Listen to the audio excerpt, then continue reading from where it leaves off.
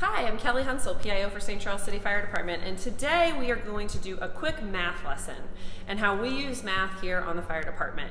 So I'm going to put a disclaimer out there real quick.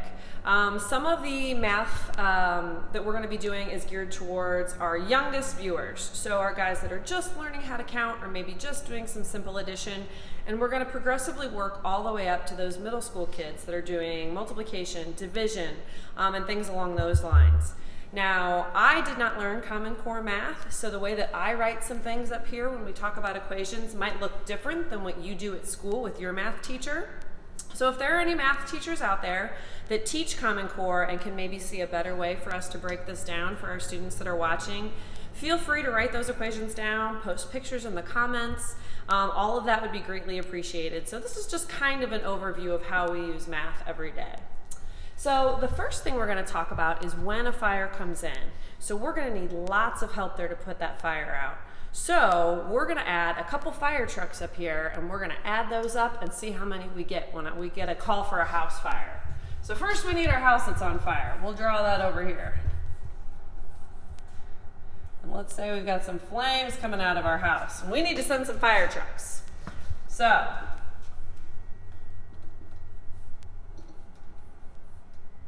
These are my very quick drawings of fire trucks. These are our lights on the top. So we have three fire trucks that, or I'm sorry, four fire trucks that show up that are fire engines. So one, two, three, four. Four fire engines. We also need some ladder trucks on the scene too, because sometimes we have to use our big ladder to either put the fire out or maybe to make a rescue. So we're going to need a couple of ladder trucks also.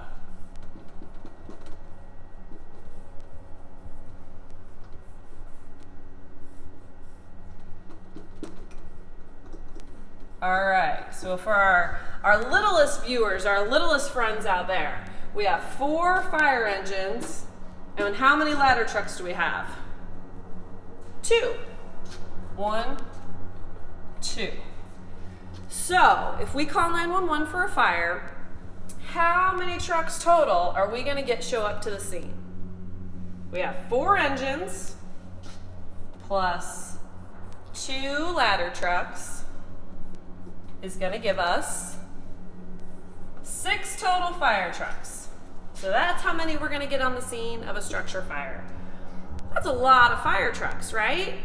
Well, we know that's a lot of trucks, but how many firemen does that equal? So let's look at another equation. This one's going to be a little bit different in that we are going to use some multiplication. All right, so let's do this. Let me draw my ladder truck back in here.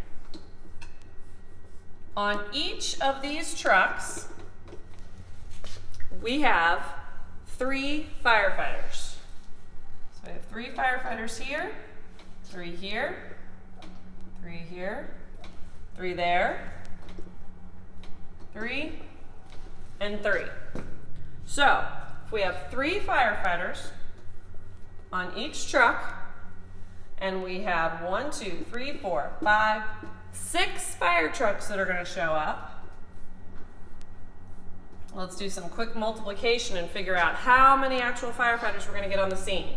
So we're going to do 3 times 6. That equals 18. I know my daughter is in second grade, and the way she writes this sometimes is she'll do dots. 3, and then 6 across. And then she'll fill those in. So if that's the way you do math also, you could certainly figure out this same equation by setting up something like this and then counting how many you have total.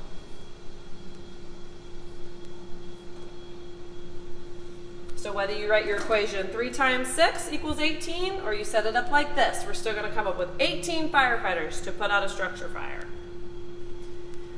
The next thing we need to know is when we get on the scene, how do we put out fires? We use water, right? And we need to pull a hose off of our fire truck to put out the fire. So let's look at what our hose lines look like and how much water we're gonna have to use. Okay, so when we show up on the scene and we pull our hoses off, we have a very limited amount of water that we carry inside the fire truck before we need to get extra water from a fire hydrant. So the truck that I'm on today is 9432, which means it's a ladder truck. And our ladder truck carries about 400 gallons of water. So imagine like a gallon of milk, we've got about 400 of those inside the fire truck. And you would think that that would last a long time, but we're gonna do a quick equation and see just how fast we can go through that water. So if our fire truck carries 400 gallons,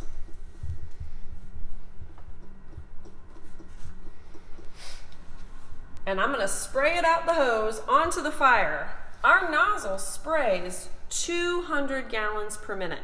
So when we open up this nozzle on our hose, we're gonna get 200 gallons per minute. So we're gonna divide 400 by 200. What's that give us? Two minutes. So if we open our nozzle and we're spraying 200 gallons per minute and I only have 400 gallons in my fire truck, I'm gonna go through all that water in about two minutes. And that's not very long at all. So the engineer has a really important job. He needs to find a fire hydrant and get it hooked to the fire truck as fast as he possibly can. So when me and firefighter John go inside the fire, we don't lose water. Now sometimes fire hydrants are right in front of the house and it makes it really easy for us, but that's not always the case. Sometimes they're a long way away, over here. So if we've got a fire hydrant way down the street and we need to connect it to my fire truck, I have special hose in the back of my truck that we can pull off and connect to that hydrant. It comes in 100 foot sections. So if this distance down the street is 600 feet, and I have sections of hose that come in 100 foot sections, how many would I need to get from the fire hydrant to the fire truck? So we're going to take 600 feet and we're going to divide it by 100. That's going to give us 6. So this is actually going to be made up of six different sections of fire hose to go that entire length. One, two, three, four, five, six. All right, so we've showed up on the scene. We've pulled our hose line to put out the fire. Engineer Gerard has done a really good job and he's hooked up 600 feet of supply line all the way back to the fire hydrant to supply our fire truck with water. We've got everything we need, right? Now this next equation that we talk about, this is gonna be for our guys that are definitely in middle school. We're gonna do some multiplication and some division all in one. So when we have everything we need, we've got our fire truck, we have our hose lines, we've got a large hose line that's connected to our hydrant, so we have plenty of water. When we get off the truck, we need to make a decision about how much water we're gonna need for the amount of fire that we have. So sometimes we have really big fires and sometimes we have small fires. So we don't always use the same amount of water. So what we do is we use an equation and it talks about how much water we're gonna need to put out that specific size fire. So when we look at the building that's on fire, we're gonna use an equation that factors in the length and width of the building and the amount that's on fire, and then we're gonna divide it by three. And that's gonna give us something called our fire flow. And it's gonna tell us how many gallons we think of, um, we're gonna need of water to put this fire out. So the equation looks like this, length times width, oops, divided by three equals our fire flow. So for an average house, for maybe a master bedroom, um, so the bedroom that your mom and dad sleep in, those are gonna be about 20 feet by 15 feet. If we take those and we multiply those um, together, we're going to get 300. And that's going to be the square footage of that room that's on fire. Now the next part of the equation after we do the length times width is we have to divide that by 3. So if we take 300 and we divide it by 3, we're going to get 100. And that's going to give us the answer for how many gallons of water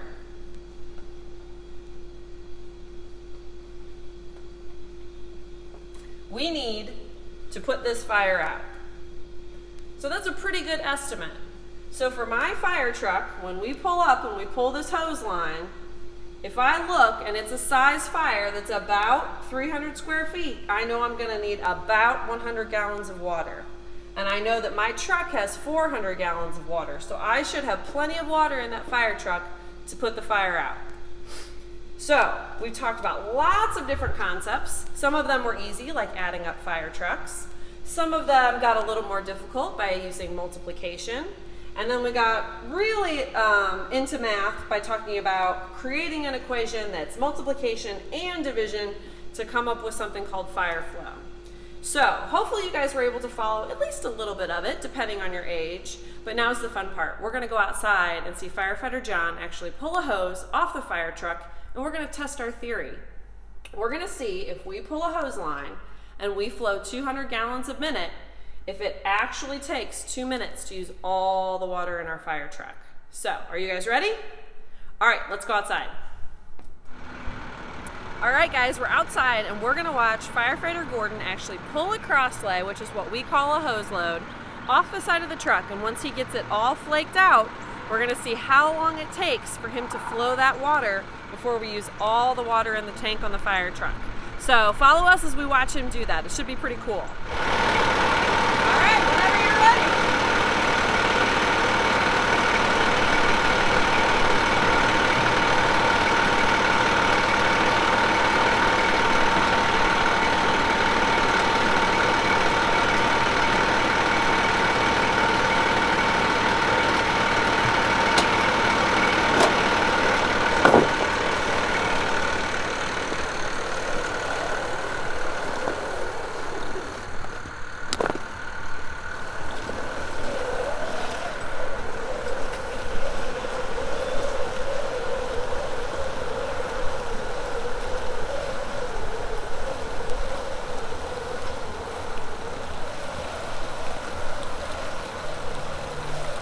When we show up on a fire, this is exactly what firefighter John does. He's gonna pull the hose line right off the bed of the uh, fire truck and he's gonna stretch it out so that we're ready to go into the house.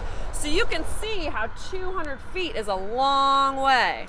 All right, and we're gonna tell engineer Gerard that we're ready for water. And when he uh, sends water and we start flowing, then we'll start our timer and we'll see how long it takes.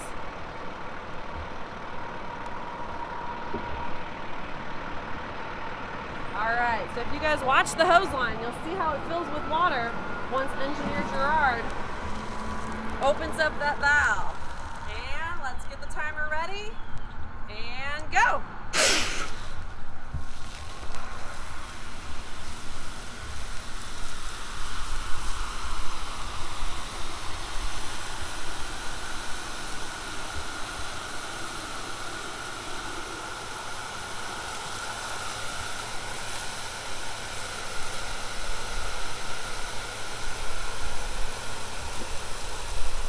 our nozzles have different settings on them, so we can flow a little bit more water or a little bit less water, but it takes a lot of coordination between the guy that's on the end of the hose line and the engineer who's back at the truck. And that's why we use our walkie-talkies. So when myself and firefighter John have all of our gear on and we go inside, we can let Gerard know who's back at the truck if we need more water or we need less water, and he can make those adjustments with the fire pump. So we are at coming up on a minute now, so we should be getting close to about a half a tank of water back at the fire truck. So if you think about it, if we're inside of a house this whole time, maybe we have to come through the front door and we have to go down a hallway before we get to the room that's on fire. Sometimes it takes us a little while to get in there. And then depending on how much fire there is, we may have to flow this much water.